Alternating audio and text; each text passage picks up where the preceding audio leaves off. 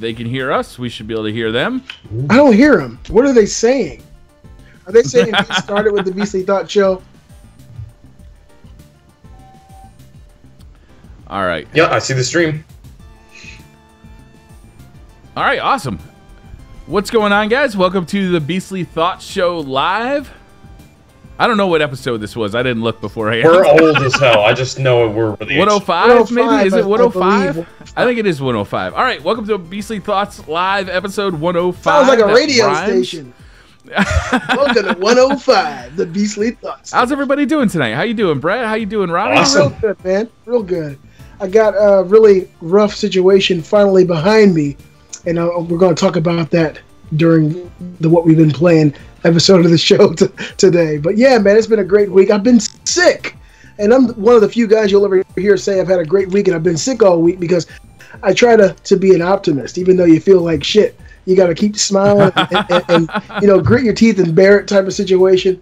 So it's been one of those rough Yeah. weeks. I've been in and out of work. I got like uh, razor blades in my throat. I'm afraid to walk around the house because I got wife and kids. I'm trying not to get them infected. It's like the early stages of a zombie movie. But um, Oh man. but other than that, I've been having a good week. What about you guys? Good, good, real good. Uh, I'm getting really excited for the Destiny update. Actually, April 12th is like right around the corner here, and there's a lot of exciting stuff happening on April 12th. We get Dark Souls 3, we get the new Ratchet and Clank game, uh, the Division. Anybody who's still playing Division, there's a big update for that game. There's a big update for uh, Destiny. I mean, it's a big day Huge for week. gamers. So it's a yeah, it's a really exciting week. I'm looking forward to. Uh, well, I'm a- actually looking forward to seeing some new Destiny stuff. I haven't played Destiny in a while, but whenever there's a new update or a new DLC, it always pulls you back in like day one. So I've, I've actually had Yeah. a few people uh, talking to me in my comment section today about the April update and whether or not I was going to talk about it and play it. I'm definitely going to play it. Looking forward to that. Also, going to get back into the division now that I've gotten the pulling my teeth aspect of gaming out of the way for this week. Yeah. So, with that said, guys, what have you been playing this week? Briar, I'll let you go. Why don't you start it off, Robbie? Okay. Go ahead, Robbie.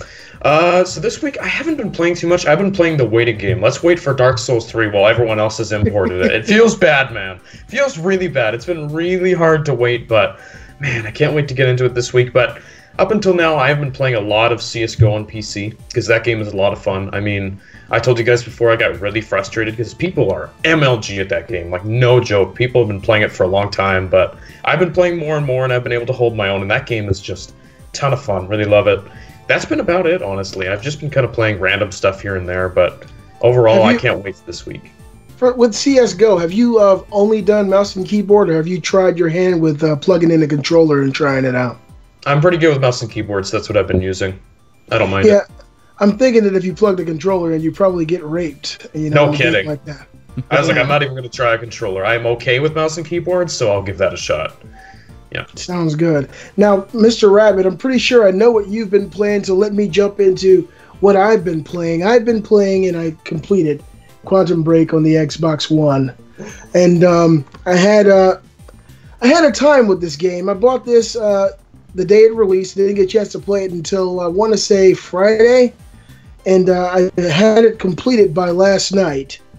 And it was a mixed bag, guys. Uh, it's one of those situations where it was I felt like I had to beat it, not because I was enjoying it, is because I, I put in so much time that I didn't want to just walk away from it.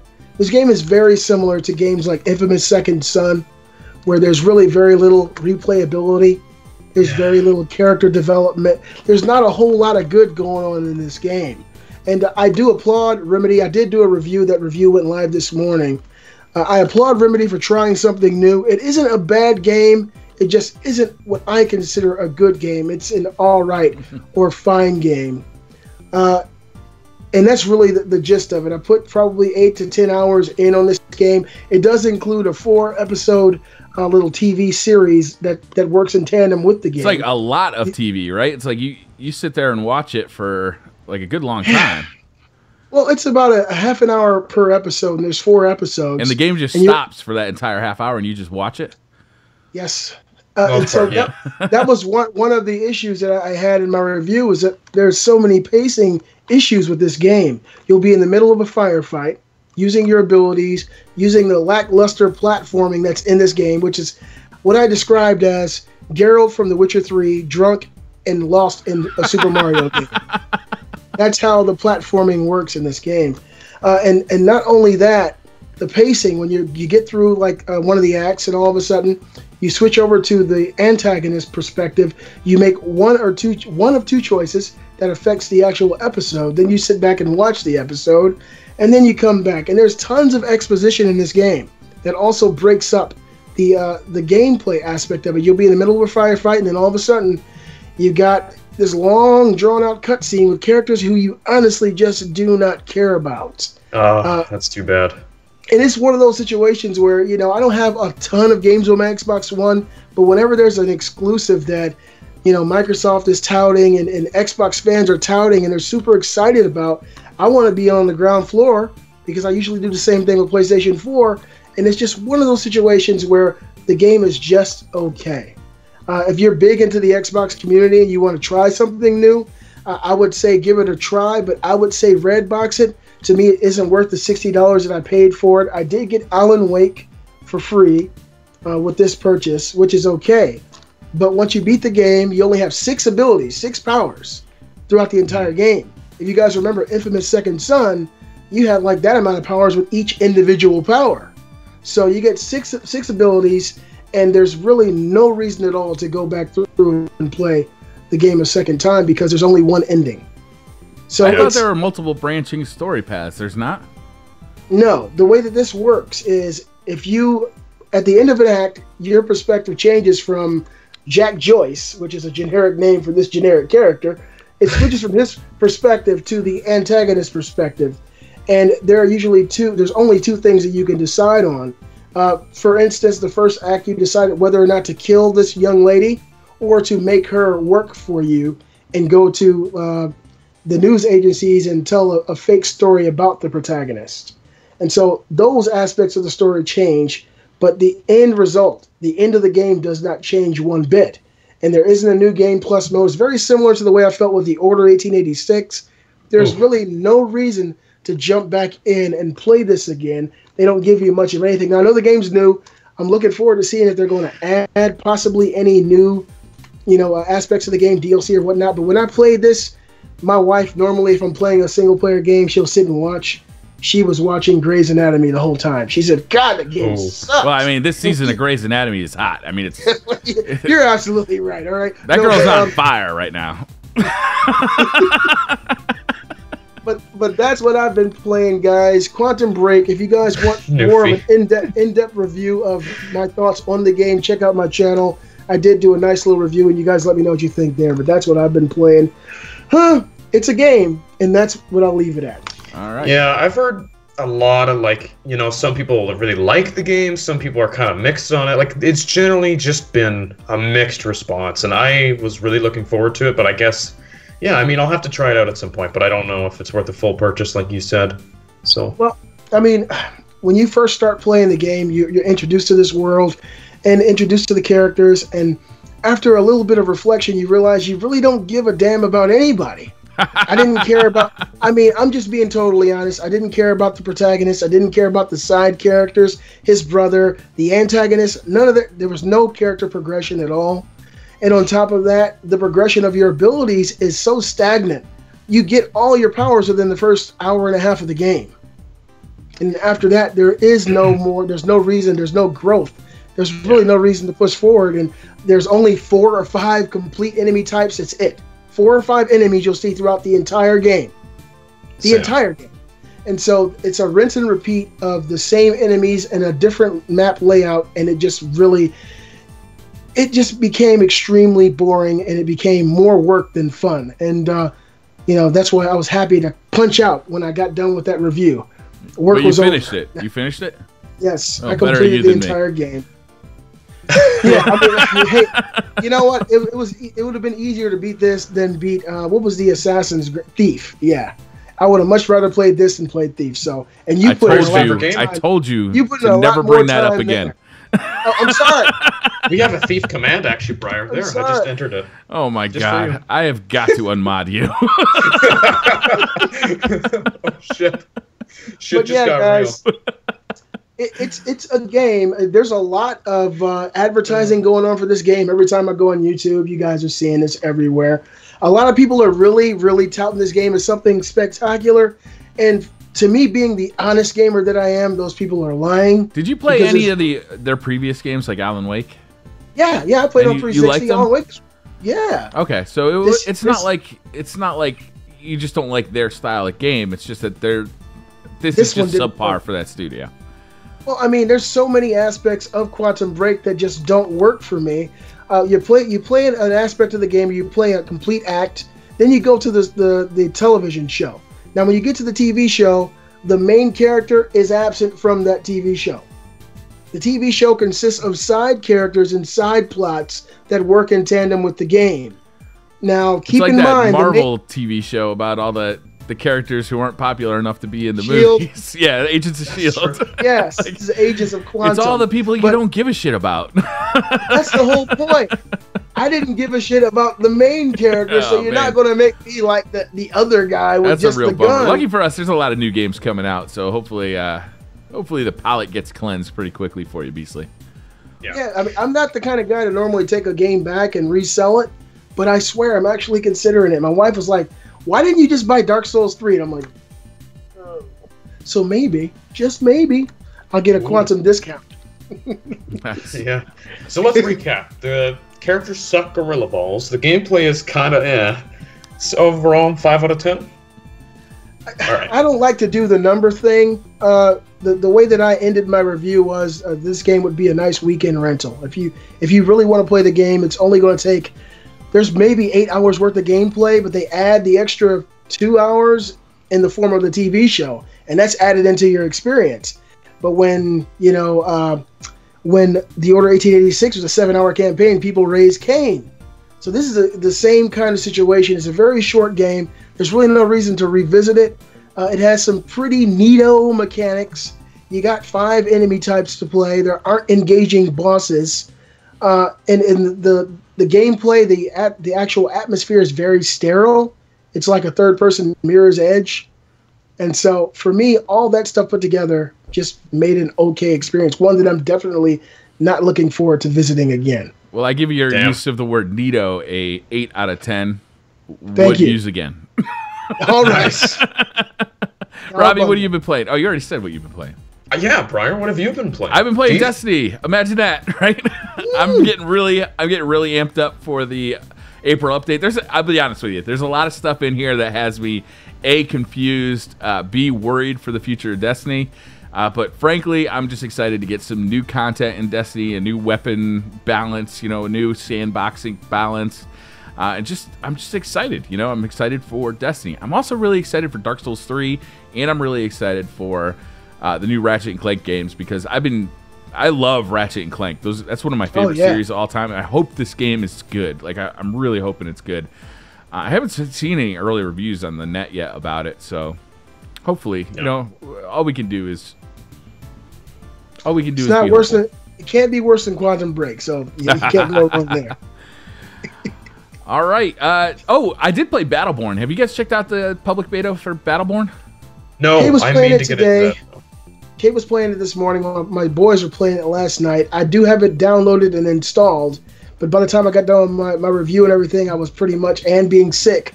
I was like, I'm going to bed, so I'm going to give it a try today, maybe after the show. Give me your thoughts on that. It's pretty fun. I've only I've really played limited amount of it, um, but it's pretty fun. I'm disappointed by the frame rate. It's a really slow, maybe 30 frames per second. Like, I think 30 frames per second might be generous on this game. Um, Ooh, that's yeah, rough. I mean, it looks beautiful. Like it's got that cel shading that you know just makes it like really pop out. Uh, bright, vibrant colors. Obviously, it's a it's a first person light MOBA. Border, like Borderlands. Uh, more more cel shaded than I'd say even Borderlands is. Like it's Oh. really cartoon looking, but in a good way. I think it's like it's really compelling the way it looks. Uh, but man, that frame rate. I was playing on PS4, Uh, and I don't think I would continue to play it on PS4. If I were to buy it, I'd buy it for PC because that frame rate is brutal. Ouch. Yeah, Yeah. uh, Hopefully, this, is a, just this is a beta, beta. It's a beta. So I mean, Things can change. things can change. I mean, Uh, the but I game like it. definitely I like the, fun ga- to me. the the gameplay loop of it, the shooting, uh, the number of characters, like that intrinsically is fun to me. So that they're on the right track. Like the game is fun, um, but I don't love don't love the frame rate. I like the game though. All right, let's do news. what do we got for news this week? Uh, Leaked leaked concept art suggests the next God of War game will be based in Norse mythology. Kratos will return as the main protagonist. did you God guys see War the concept art? 4K, No, I haven't seen the concept art. That sounds awesome. It actually is very cool. Like I'm very excited for it. Other than the fact that Kratos is returning, I don't know how I feel about that. He Like has I a hope beard, they change his character. He's got a beard. He does Yes, have a beard. That's a good Yes. point. Beard hype. Robbie, awesome Robbie can't beard. play this game. Dude, I'm psyched. It's not Greek mythology anymore. They're changing it over to Norse. Yeah. Yep. That's the kind of fresh look at that series that actually made me really excited for it. Yeah. Where did these I gotta tell screenshots leak from? Do you know? Uh, it was on NeoGAF, and I gotta tell you, like, I looked through a lot of the concept art. A lot of it was like this bright green, lush, like forest, and there was all these really cool things going on, and it just it looks awesome. And this is exactly what I wanted from God of War, for them to take a fresh direction. And I'm hoping Fresh, that they at least change up the combat system as well. That would be awesome. I'm hoping they do that too. That has room to evolve, definitely. I liked the God of War series in the past. Like, it, it was a good series. But it got stale after a while, right? Like, it just felt like they tried to kind of beef up on, like, how epic the scenery was and how big the mm-hmm. boss battles were. But the combat kind of remained the same, and it was repetitive. you kind of felt like the story almost started repeating itself as well. Like, I don't even remember the story from the, the last He couple just of games. he was he was mad in every game. That's that was yeah, the he was super angry. Like, the dude is- extremely pissed Dude off. needs Yeah. super chill pill. Ares! He just yelled at everyone. Hey, Ares! check out some Xanax, man. I think it could really help you out. Maybe he needs to talk with old man Greg. Let's straighten him out. I don't advocate drugs, but maybe a blunt might be for you. man. He needs to relax a little. Little medical marijuana for Kratos, I think. So, so I got a question, guys. If they do go this direction with the Norse mythology, do you think they're going to just retell the same stories in Norse mythology and it'll give it just a whole new feel? I hope not. I hope they take a new direction for this series. Like, I mean, even the boss battles would be different because you'd have gods like Thor and Loki and Odin and stuff like that. Like, I think there's a lot of potential for this. And obviously, we haven't seen the game; it hasn't been announced. But from what I'm hearing, this is a good groundwork for this. I'm excited. Hmm. I would like to see a, a similar or even the same story sold in this different form of mythology. It would be a different story, and of course, they'd have to change the dialogue in different settings and things. But you would know the story, but it would be so fresh and new in a, in a way. I think that would be interesting. But that's just me. You know, I, I love the original God of War series. All but I think the last one was really, really good to me. Uh, so I guess time will tell. We'll see what they do here. Yeah, probably revealed E3 if I had to bet. I think that'll definitely be uh, a thing. Do you think the God of War 4K name would help sell the PS 4.5, guys? Haven't we talked about this? Uh, is this in the news today? 4.5K?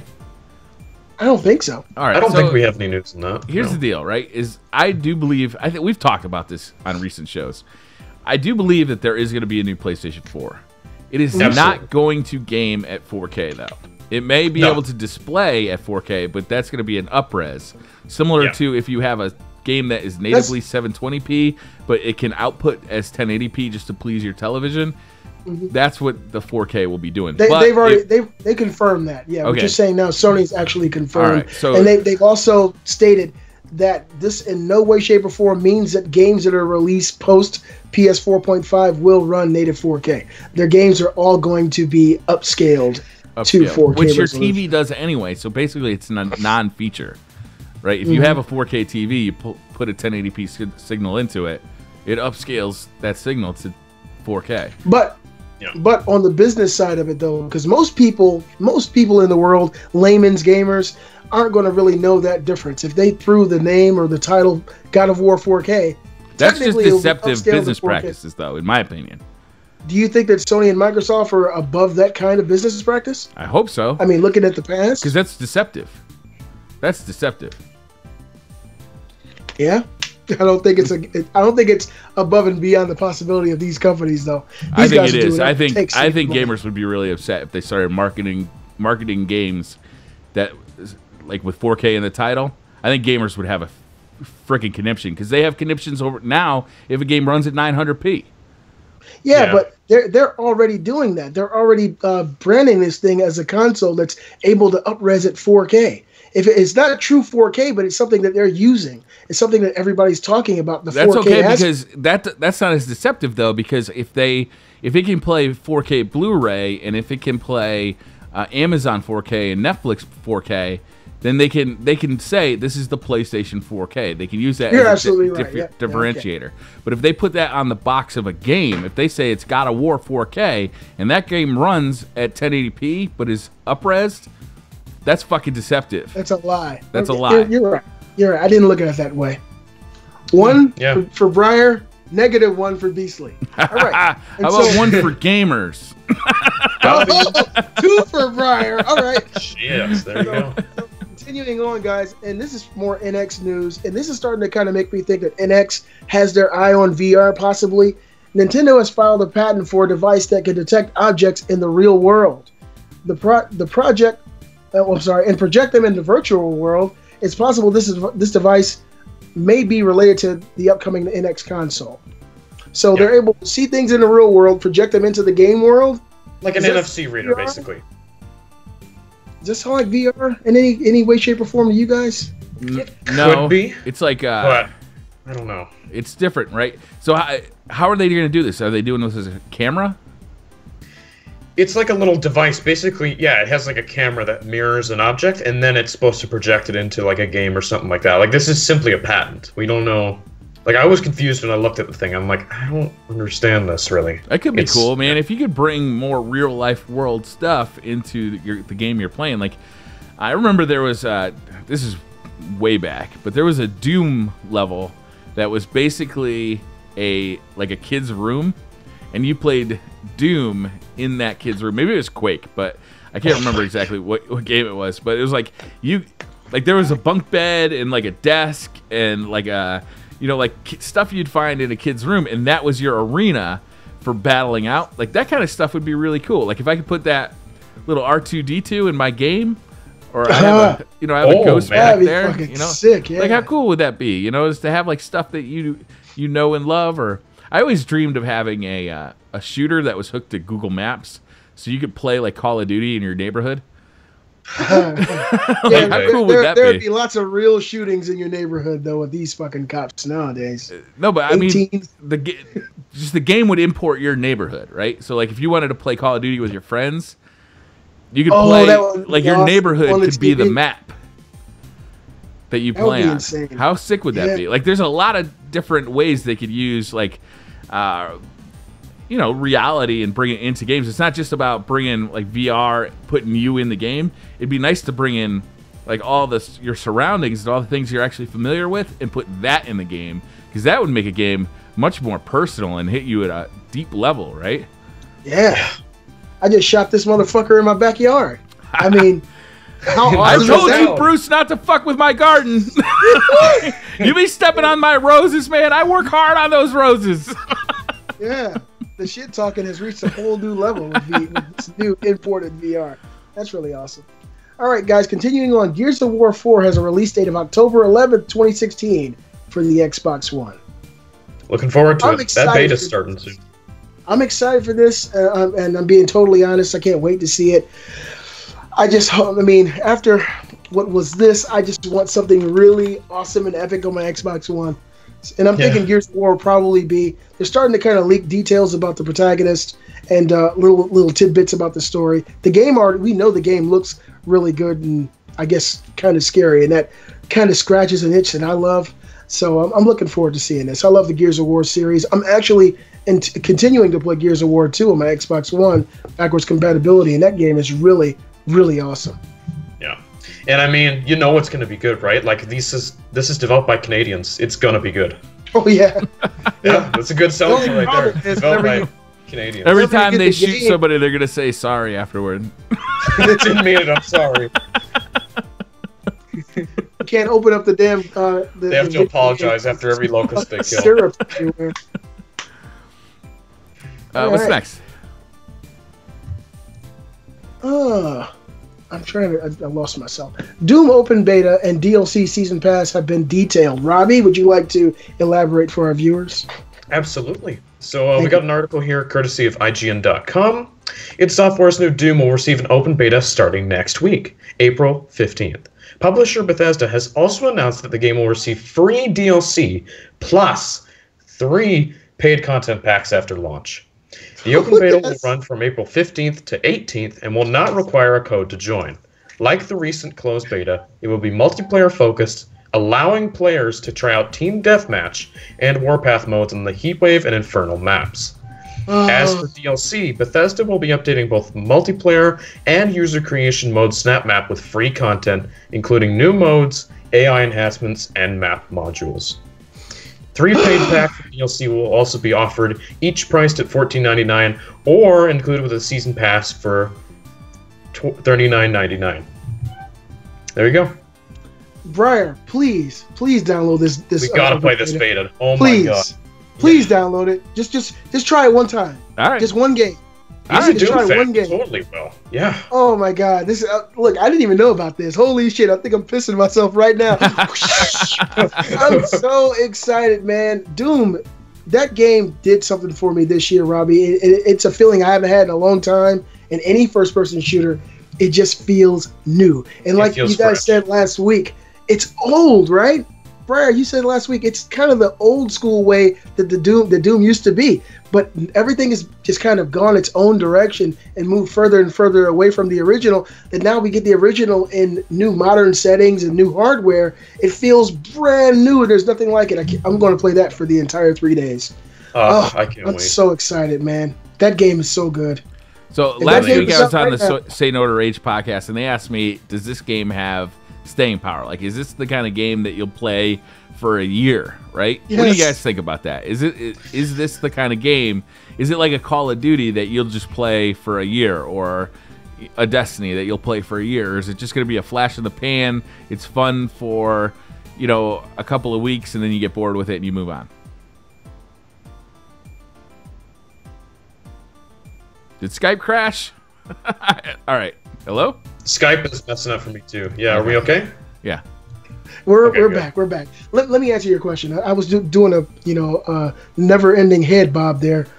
I think it definitely will. Just for the little bit of the, um, the closed beta that I played, it was so damn fun. And and you got to keep into account that there are levels you can actually create levels and kind of breathe your own originality into this game. And if, That's and if that portion if that portion of this game works and runs as smooth as the closed beta or this open beta hopefully runs, there's no way possible this game won't be huge within a year. I mean, I huge. think- Yeah, I don't know if it'll last like a Call of Duty lifespan, but I think it'll definitely last like many months. We'll, we'll have to see, right? Like the game isn't out yet. It depends on how the leveling works, how much there is still to do. But I can tell you right now, the multiplayer, just the base level, is fantastic. It absolutely could last a long time. I think there's Well, potential. the, the good part of this is we already know that the multiplayer is going to be amazing because we played it, and everybody who I've talked to or who's played this this portion of this beta has had nothing but fantastic things to say about it.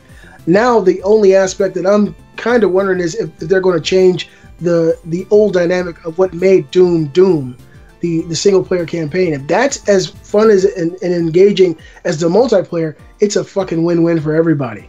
You guys let us know in the comments. Did you play the Doom closed beta? And please leave your thoughts because it blew me away. It, it knocked my socks off. My wife's socks are still like on the ceiling in the living room. Oh, that Oh. wasn't from that wasn't from the game. Okay, but it was okay, still a fantastic time. You guys let scared. us know in the comments. not gonna lie. It's okay for a game to be fun. It doesn't. It, every game so doesn't fun. have to be super deep, right? It doesn't have to have have to jizz your pants, leveling up you know? systems. It doesn't have to be a MOBA or an MMO. Sometimes it could just be fucking fun, and Doom seems like it's gonna be fun. It's gonna be Yeah. fucking fun. Yeah, Jizz your pants full.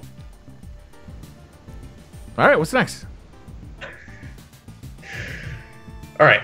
Fable Legends, the canceled game for Xbox One and PC, may still see the light of day. According to sources, staff from Lionhead Studios are planning on reforming under a brand new independent studio to finish development on the game. Yeah, what do you guys think about that? What's the next story? Briar.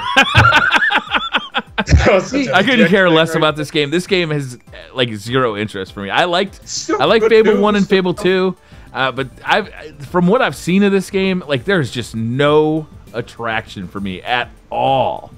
And hear that it was canceled, and now it's getting revived. It's like I don't care. I don't care. I'm happy that Lionhead is still together. That's what I'm happy about. Okay. Because they're a great studio. Well, but yeah, I mean- game, like, eh, I don't know.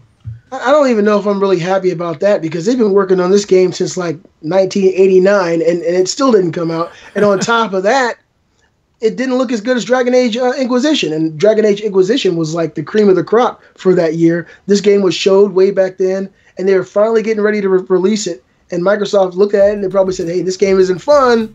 No, thank you. So um, that's really the story, man. I'm not really into it. I think that the Fable series had it had its a calling and it had its own niche gamers that really enjoyed it years ago. But I think that as time progressed and gamers have kind of grown out of that, it's kind of a forgotten thing. And I'm not really excited about Fable at all. It has to be something totally new for me to enjoy it. Yeah, I don't know. Maybe it'll come back, maybe it won't. All right, so let's just start making up news. Quantum Break, the best-selling Xbox One game of all time. Thoughts, guys? Is that all the news we got this week? Bobby, man. Oh, There's right. still more. All right, let's go. All right. So when I first saw this story, I was kind of like, "This can't be true." But then I thought about it more, and I'm like, "You know what? This is probably about accurate." So only 37% of gamers are aware of virtual reality, according to a recent. Are you Nielsen playing the drum on your computer? Every time you talk, are you doing this? My name is Rob. uh, What's going on? I'm hearing. I might be tapping my mouse pad. I'm sorry. Oh, okay. I should stop doing that. but yeah, 37% of gamers supposedly know about VR. Like a lot of people seem to be in the dark about this, and I think this is probably true because you know, like all of us know virtual reality, and obviously people who keep in touch with the news and stuff are gonna know about this. But for the average consumer, like it hasn't really been advertised. Yeah, all right. So So, here's the thing, right? Stats. You can make stats say whatever you want. Is this the 30% of gamers, which includes 50% of gamers are women, which we all know means like, you know, people who Mhm. play, you know, games Mobile on their games. phones. Candy like- Crush. or is this like 30% of gamers who uh, play, you know, $60 games on consoles or PCs? Like, Probably what both. kind of gamers are these? Because if it's 30% of gamers, including the people who play games on their cell phones, then that's probably pretty good. Right? Because those people Yeah. who play Candy Crush, they don't care about VR. They care about, you know, their mobile game and that's it Crushing if it's thirty percent of gamers who play who play console games or PC games that have like Steam accounts or PSN accounts or Xbox Live accounts, that's a completely different stat, and that's really bad because Yeah. thirty percent of those people, that's not very good. Thirty percent of gamers, though, that could go either way. I'd want to know how are they measuring who's a gamer, who's not a gamer, before I even make a judgment on that stat. Such a good point. Yeah. I, I actually know a few people, uh, namely my family members who are my age and maybe a few years younger, who are heavy into the PlayStation 4 and uh, Xbox One ecosystems, who had no clue that VR existed until I think last week. I had two of my brothers over last week, and I visited another one. I think uh, last fri- last Friday, Friday night. And during these visits, I actually started to talk to them about PlayStation VR, Oculus, HTC Vive, and they were like, "What are you talking about?" And I was like, "Have you seen these commercials? Have you seen any advertisements?" They're like, "No. What do you mean?" And then I show them videos, and they're like, "Oh my god, I'm totally in." So I think that the 37% they're talking about, it might be actually a true number. I think that the advertising of this hasn't really hit the masses because it's not like you just turn on your TV and you see a VR commercial. It just doesn't happen. It's very so hard I to think that communicate until that too. yeah, you can't really uh, get it across on a flat screen what people are really seeing and experiencing experience when they it. when they have a VR headset on. So I think that uh, the thing that's going to advertise this the most is going to be word of mouth. Yeah. I think that once people start getting There's their, got to be games too. I mean, right now there's just a bunch of mini game collections. So you buy a 600 800 dollar headset and all you get is mini game collections that take you 10 minutes, you know. Yeah. All So they gotta they gotta get the software out there. I mean, this is really bleeding edge stuff right now, and it's not ready for the consumer. To be honest with you, it's not ready to go mainstream. Um, they need to they- they need to develop really good software for it, and then then it can start hitting you know newspaper articles, uh, Super Mainstream, Bowl yeah. commercials, you know that kind of stuff Yeah. where it can, you know, then players can like you know more casual gamers than the people who read uh, you know IGN every day or watch you know gaming enthusiast shows stuff like that. Guts. Yeah. Yeah, that's when people will start to adopt it. But right now, It'll it's, take it's time. overpriced. It's got no software. It's, It's not a time to buy new it. technology. Yeah, it's not time to buy it. Exactly. It'll become more mainstream over time. And, and this next article, it'll probably become a little bit more mainstream when, when things like this happen as well. HTC's Vive VR headset will soon be available to purchase in Microsoft and GameStop stores. Absolutely. that will help get the word of mouth out when you can go to your local GameStop. Some mom and pop says, What's this virtual reality thing? And then they get it explained to them and they're like, Oh my God, this sounds amazing. That's how people are going to gain awareness of this. I, I think that once people start seeing that, a lot of people have money, and a lot of people just don't have the knowledge of what's going on in the gaming world. There are probably every day 10 to 20 people who walk inside GameStop and they have an extra $500 to blow on nothing. And if those people start to see the Oculus Rift or PlayStation VR or HTC Vive sitting around, they start picking up pamphlets and seeing what it is. These things are going to start flying off the shelf, man. And the word of mouth, I think, is what's really going to get the VR movement. They gotta you know, have an application though. They gotta have. Yeah. They gotta have something that. They A gotta have killer a reason to use the technology. Right Thief, now, I Carnival feel like they do. killer. That's what they need. They need Thief. That's a killer app. I'm Why are you messing with Mr. you. Rab? You I'm see him? hang up you on see him how right now. serious he is? you see the steam coming up on his glasses? You better chill out, man. He gonna end up fucking you up. Ooh, he got banned by the rabbit. Oh shit. Just saying, it's a good game. Yeah, No, it's not. On some planet. I think it is. All right, what's next? This is the last little bit of news we have today, guys. It's been an unfortunately uh, slow week in news, and Kinda it seems been. like the news outlets have been sick, just like me all week. Microsoft says that the company's cross-network play, which will connect Xbox Live and other networks such as PSN together, is ready to go. It's now up to other developers and publishers to accept the open invitation. Do you think anybody's going to accept? I hope to God Sony accepts. Please do this. I know they probably won't, but please do it. I would love it if they did, but I just don't see any reason for them to do it. I mean, just to That's be totally honest, I mean, Yeah. I, I I see that they'd get goodwill from gamers, gamers. That would but they it. get less goodwill than Xbox will because Xbox is the one who created the initiative. Yeah. Absolutely. You know, if you view PSN as a social network, the last thing they want to do is share their share their user base with Xbox. They don't want to give up the the reason for buying a piece, PS4, which is all my friends have a PS4. I want to play with my friends, so I want to buy a PS4. Like they're they have uh, more to lose than they have to gain in my eyes. the, and- the time the time tested argument that you're going to buy the system that your friends are on will disappear if Sony agrees to do this. Yeah, Because you can buy whatever system, it doesn't matter at that point. Right. You know, if you And you know, PS4, you can play Rocket League on PS4 against PC players. PC, You can yeah. do that right now. Oddly enough, if you have an Xbox, you cannot play against PC players. they're initializing it and should be up soon. So Sony was actually doing it first, and, and the same thing can be said about Street Fighter Five against PC players. I play I play against PC players when I play Street Fighter Five all the time. So this isn't something that's alien to PlayStation like a lot of people are saying. Sony has implemented it before. They did this back back in the day with EverQuest on PlayStation Two. You could play against PC gamers way back then. So uh, this is something they've done. You know, I don't think that it would be smart business sense for them to allow their competitors into their network. Would you do I it if you don't- if you were uh, if you were head of Sony? Would you do it?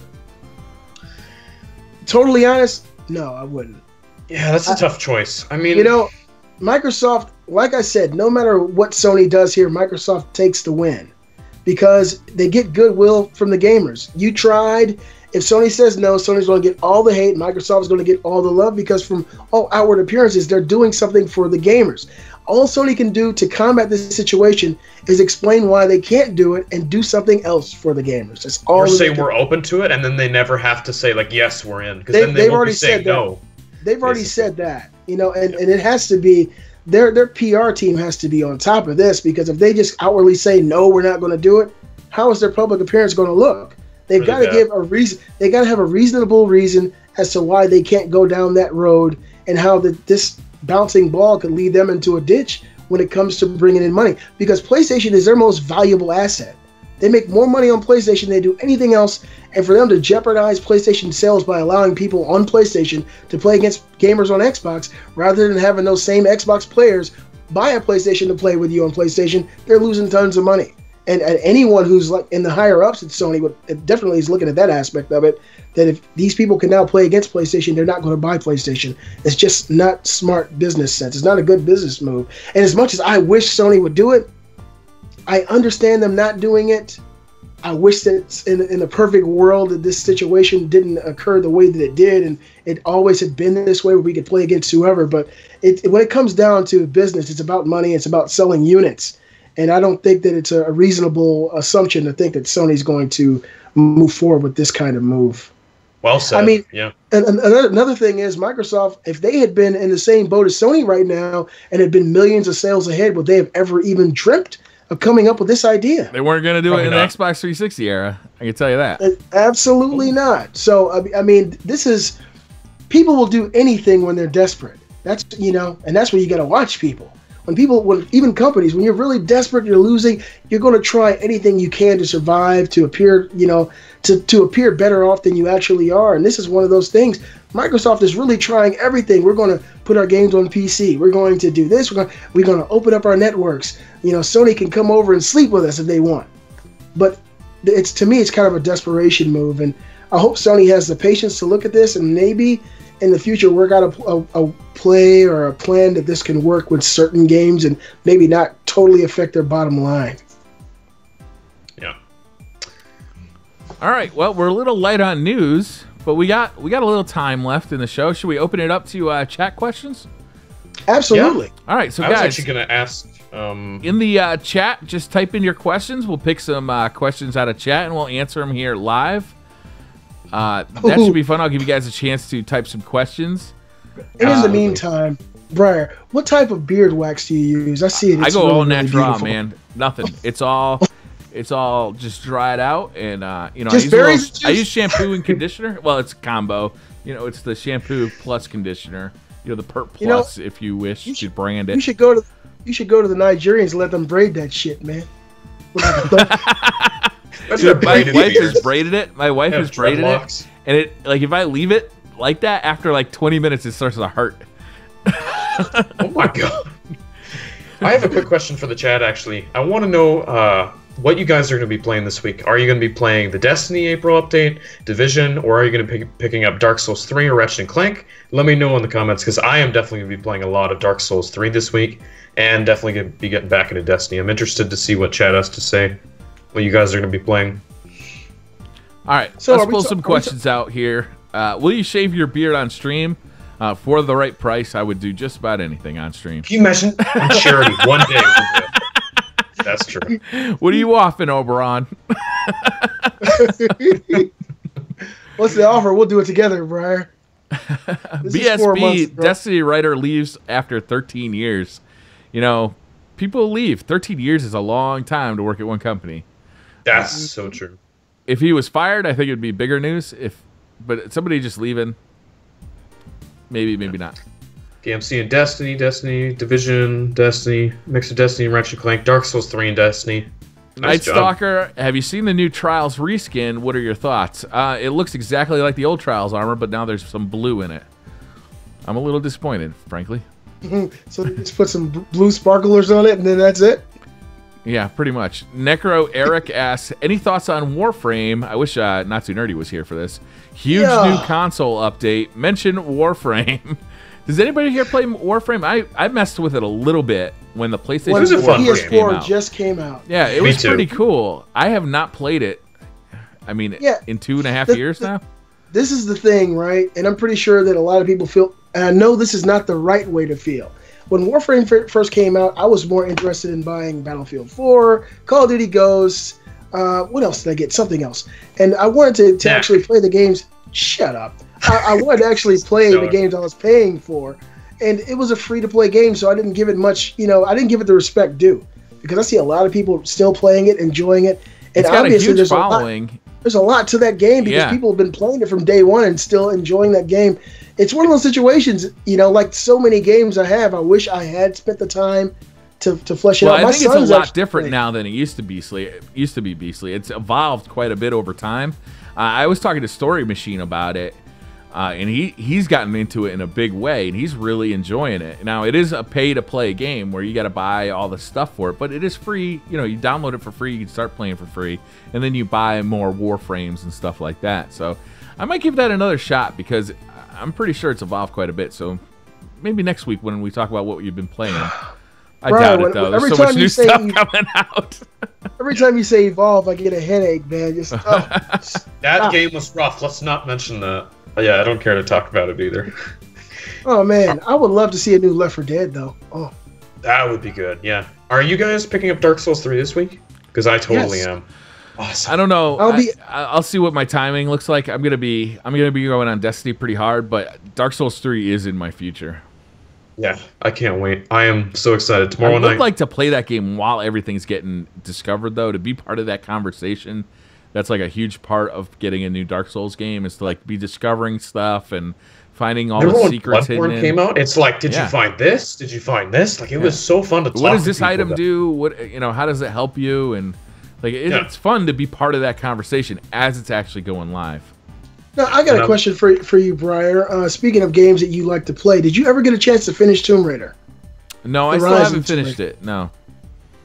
You want to start the Beastly Thoughts box, and I'll send you this, and you send me that. no, that's Don't not a worry, good you trade. don't want this. Jeez. Oh man, yeah, I'm looking forward to playing Dark Souls uh, as well. I probably would have never gotten that game. It wouldn't even have even been on my radar if it hadn't have been- been for a little game called Bloodborne. So, From Same Software, thank you for making that game. I did. I do have the the original Dark Souls um, and uh, Demon's Souls on PS3. I played them initially just for 20 to 30 minutes. I was like, this is just this is a game. What the hell? I don't want to just go through constantly getting killed and walking five steps and getting murdered. I'm done with this crap. I didn't understand what the draw for it was, and Bloodborne actually opened that door for me as a gamer. And because of Bloodborne, I'm actually really excited for Dark Souls 3. So thank you, Bloodborne. I have Yeah, a very similar experience to you, Brett. I, it's almost exactly. I keep saying Brett because it says that in Skype. Oh, that's fine. My name's Brett. Because I keep- I'm looking at you and I'm, I'm reading Dick. your name like right underneath it. Instead Did of you saying say last Beastly. name Big Dick? You got really good Brett Big Dick. Good to know. Yeah, BB. Yeah, uh, Bloodborne really. I think for a lot of people, they felt that way. I'm not really big, uh, you know, when it comes to listening to IGN, but Brian Altano, uh, during one of their, um, God, what's the name of their PlayStation podcast? Podcast Beyond Yeah. used to be my favorite. Oh, now it's Podcast Beyond Bad. But uh, he was actually on that podcast talking about this game, and uh, he was talking about how he had a really bad experience initially, and he stepped away from it. And people on, on Twitch, on Twitter, were getting back with him, saying, "Man, you got to keep going. You got to try it. You'll see." And he went back and played it. He said he had one of the most amazing and and rewarding experiences he's ever had as a gamer playing Bloodborne. And I was so happy to hear him say that because for the two weeks prior to that show, he had been dogging it out, saying, "Oh, it's not my type of game." And that, that game really opened up a lot of people, a lot of gamers' minds. It's something so different than you experience in your traditional third-person uh, action adventure game. But um, Bloodborne was awesome, and I hope that Dark Dark Souls Three is able to capture some of that magic. Me too. I agree I wonder- completely with you guys. Yeah. I mean, I got Dark Souls 1 when it came out. I did not like that game at all. I just didn't get the draw for it. I decided to give Bloodborne a chance. It had been a couple years, and I loved that game. I'm going to see if I can get further into Dark Souls 3, though, without quitting, because I got to uh, If you Vicar buy Amelia, Dark and then I was like, I'm done. Three, you get Dark Souls with it, right? I On think on Xbox Xbox One, On Yeah. Xbox One. I got it Here's another good question. BSB in chat. What's the oldest game in your guys' collection that you would never give up? I know this isn't that old, but The Last of Us. I feel like I'll never not give that very game old. up. Just- come on, Robbie. It- that game like changed my life when I played it, though. It Uh-huh. really changed me. Like I will never get rid of that game. I've got I know that's not old, but Yeah. I got a few uh, games in my collection that I wouldn't give up. I got Mortal Kombat on my Game Gear. I really, that was a special game for me. Uh, Super Mario All Stars, um, the original Super Mario World, Streets of Rage that says "Do not sell" copy on it from the Did Sega you steal Genesis. it from still have that. Blockbuster Video? No, it came with the, the original Sega Genesis. It came with it, not for resale, or maybe it did come from. I don't know, um, but it's old as shit, and I would never sell it. Um, I would never sell my original P- PlayStation Pix. It's a purple disc that came with the original PlayStation One back in 1995. That was the very first demo disc ever released for any PlayStation system. Ooh, before I was born. Wow. I actually, I actually have two copies of it. Uh, one man. copy I, I bought on eBay and it didn't work, but Ah. um, it, it actually has Jumping Flash as a playable demo. It has Tekken One as a as a video. You can actually watch Tekken One. Uh, games like Kileak the DNA Imperative, Philosoma, uh, ESPN Tricks. Um, it has some really really old. Oh, sorry, I PlayStation nodded One off there. My bad. Well, you have, you have to be, you have to be as old as me to appreciate this, but Yeah, that's that was before I was even stuff. born. So I'm like, I just. I got. Uh, I still have Halo, um, Combat Evolved, that I that I bought when I first bought my Xbox. That's what still remains one of the best gaming experiences of my life. That game was absolutely insane when I first played it, and uh, I'll never get rid of that. I have, Overall in uh, chat says you're just a scrub it from software games. That's why I got Bloodborne. You're absolutely That's right. funny. Um, I still have uh, Star Wars: Knights of the Old Republic on my Xbox, my original Xbox. That'll never be sold. Have you guys ever had a chance to play that? What, KOTOR? what game? I'm sorry. Star Wars: Knights of the Old Republic for the original Oh yeah, Xbox. that game was great. oh god, it is. It's so good. That was a phenomenal that. game. I've got that. I've got Jade Empire on my original Xbox. I've got. I would never sell my Shadow of the Colossus on PS2. That's um, a special game for me. Odin Sphere for PlayStation 2. I actually have that on disc. I will never sell that. I got some really good classics. Oh man, I'm old as shit. So this is a question Nerd that asks- is just addressed toward me, but I'm going to open it up to the table. Uh, Briar, do you not play Call of Duty anymore? No. Um, so I, I pretty much quit playing Call of Duty when, you know, two things happened at the same time. Advanced Warfare came out and I didn't like it. Destiny came out and I did like it. You know, and like Thief it was, out and you only played that. it really Yeah. was. It was just like Perfect Storm. yeah, these two things happened. I mean, my YouTube channel was almost entirely Nothing but- devoted to Call of Duty. I had I had a couple of series, like I did a lot of headset reviews, I did a lot of gaming news, uh, but like the bulk of the gameplay that you saw on my channel was Call of Duty, and I played Call of Duty on a daily basis. I bought Black Ops 3. I bought Advanced Warfare. I just didn't like it. I just didn't like that game. I bought Yeah. Black Ops 3. I did like that better than I like Advanced Warfare, but I, it doesn't have the same appeal that the old Call of Duty games had for me. Uh, It doesn't Destiny pull is just in. such a bigger game than Call of Duty.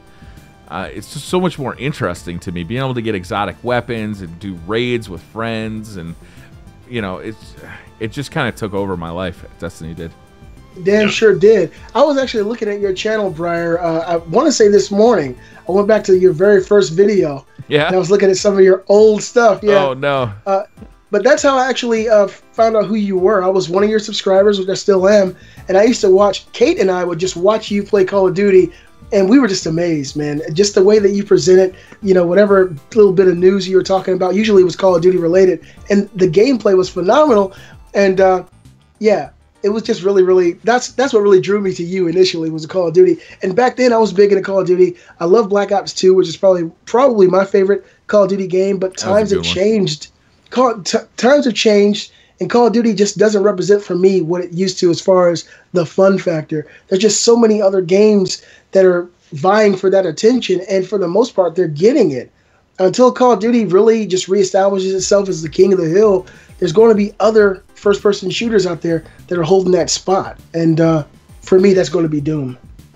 Oh, For can't wait for that game. All right, what about you, Robbie? He's got another one in the chat and i'm gonna ask it how many gaming systems do you have i want i want you to go last Beastly robbie That's how many true. gaming systems do you have So I have a PS4, Xbox One, Wii U, which hasn't been turned on in about two years, and PC.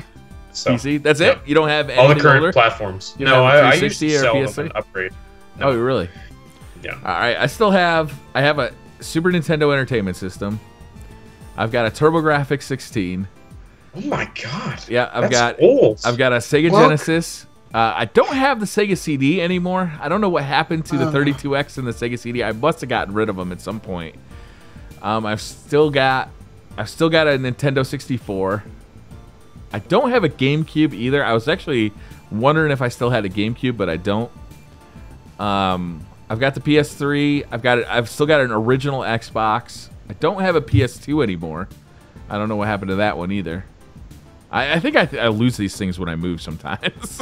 Damn, whoever Yeah. moves into your old place, there's three Quick Xboxes in here. and then obviously in the house here, we have like all the we have like the new Nintendo DS. We have the Nintendo DS. Uh, we have a couple of PS Vitas in the house. Uh, we have a Wii U, a Wii, a Wii. we have Wee wee. a couple of PS4s and one Xbox One. We got a bunch of them here, but I bet Beastly's about to go ham here. I- Here I'm we not going to get into all of it. I know that Laundry when list. I counted, I did my uh, my t- 2016 gaming setup video. At the end of that video, we counted all our home consoles and handhelds. There were 44 systems. Forty-four. So, uh, oh my Yeah. god. I have like four. But you- Yeah. you do have kids who have their own Yeah, like yeah. DSs and PS Vitas. Yeah, even my three-year-old has a 2DS. So um, there's a lot of old school systems I've gotten. I got three Nintendo 64s, three GameCubes, Sega Saturn, Sega Genesis, Super Nintendo, Sega Dreamcast, um, old stuff, crazy stuff. Neo Geo Pocket Colors, PlayStation 2, PlayStation 1, original Xbox, Xbox 360. I got five PS3s. I've got six PSPs. Um, I've got there's four PlayStation Vitas in the house. Uh, there's five 3DSs in the house. There's just Oh my god. tons of stuff, you know. Um, that's what I spend my my extra money that doesn't go into savings accounts and paying for you know tuxes and stuff and stuff for the kids. When I have a little extra, I'll put it aside for a game that I want or for I'll go on eBay or something and buy a, an older system. One system that you just mentioned that broke my heart that I don't have is a TurboGrafx 16. Mine is in Canton, Ohio, at my Ah. uncle's house. It's at my uncle's house, and it's been so many years. I forget what transaction that we, we went through years ago, but it was ours. Ended up being his. Uh, but, um, you know, we had a lot of fun playing uh, Bonk's Adventure, Keith Courage on Yeah, TurboGrafx. I got Keith Courage still. yeah. Oh, you Bonk's do? Adventure, Tell me yours. Yeah, yeah. Um, so there's a lot of consoles here in my house. It, oh, I'm sorry. I have a Wii U sitting here that is used for my um, YouTube.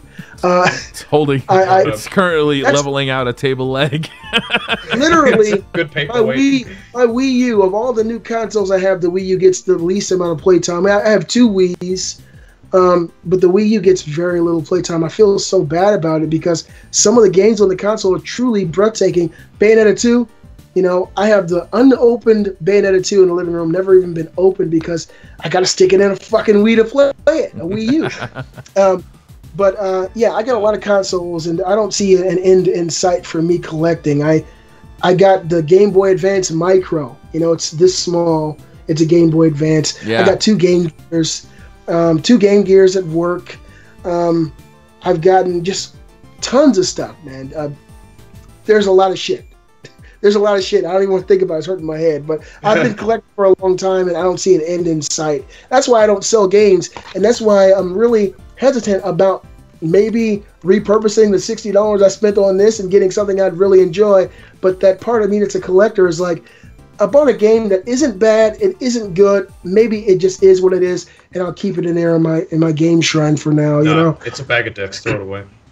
damn, you're you're, you're right, Robbie. Sad. All right, guys, that's gonna do it. You guys got anything coming up this week that you want to uh, share with the folks?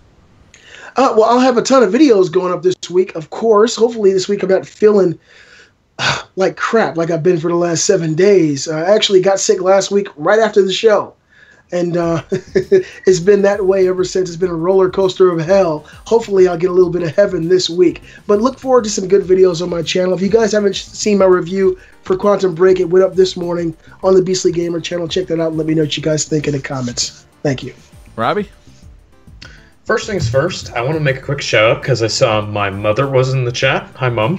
Hey, Mom! Hello, mom. She's, aw- she's awesome. Everyone say hi, mom. Yeah. Um, but yeah, um, I don't usually like to tease things, but there may or may not be, and I can't keep this promise, but there might be a Dark Souls 3 stream this week. I might just be doing that because I really do want to get into streaming, but I don't know. My setup just isn't the best for it. I want to figure it out, but I might just give it a try. It could be fun because I'm going to get my ass kicked in that game, and I think other people would enjoy it. I would enjoy watching you you, get your ass kicked, even with your mother here. Of course you. my mom can watch me get my his ass mom, handed His mom is so cool. She'd probably enjoy watching him get his ass kicked. Okay. Uh, Yeah. let, me, let me let me ask you guys a question. Now, in, in Bloodborne, you can actually play with other players uh, using the online components of the game. Is there anything like that in Dark Souls Three? Yeah. Yep, Or you can it- invade people, people can invade you, all of that. Wow, they st- whoa, oh man, it's on and cracking again. I know, man. It's so amazing how like I used to never give a shit about Dark Souls. I did not like it. Then I played Bloodborne, love that game, and now I am like so excited for Yeah. Dark Souls 3. Like I've completely changed my mind on that franchise. I love it now. Absolutely. What All about right, you, well, Brian? What are you obviously, I'll be this week? playing Destiny. The new update comes out on Tuesday. Uh, Challenge of Elders. I'll be doing some uh, YouTube videos of that. Uh, I'll be doing a lot of YouTube videos, like new weapons, new Challenge of Elders, new content. How does the Crucible feel with the sandbox changes? Tons of videos, but I'll also be streaming quite a bit right here on uh, on uh, on Twitch. So uh, I got a busy week planned, and I'm really looking forward to it. Like I'm, I got I'm amped for this week. Like I am really excited. So I can't wait for Tuesday. It's gonna be a big day. Uh, but now I'm gonna go out to dinner with with my wife and eat some sushi. Oh, you're the fucking man. I know, right? Oh man. Speaking of sushi, we have a fantastic sushi restaurant here that makes like homemade. It's really good. Like it's really quality sushi. Now, when Oh. you say homemade, do they actually make the fish? They have do like a big fish tank, and you tell them what you want, and they just grab I that don't fish know. out I of the remember fish there's tank. a really good sushi restaurant here though. Shut up, guys. I don't know if it's that authentic, but it's pretty close. It's delicious though. It's fantastic. I love some So sushi. Yeah, good. I think my you mom guys, knows what I'm you guys have a good time. I haven't seen the wife in a long time, Briar. You send her all of our love, man. All right, we'll do. And remember that time? Didn't we do like a dual com with the two wives? Did we? Did I don't we? know. We planned on it. I don't think we did. No, we never made it happen. Never made. We should have because our wives don't even fucking go on YouTube anymore. All right, guys. Thank you very much for watching. We will be back next week. If you missed any part of the show, you can check it out on any of our three YouTube channels. Uh, I'll have links in the description of my YouTube channel if you'd like to check out Robbie or Beastly's YouTube. Uh, and that's going to do it for this one, guys. Thank you very much, and we'll see you tomorrow. Take care, everybody. Bye.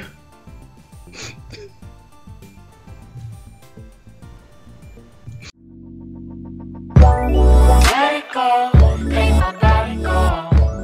Take our bodies higher.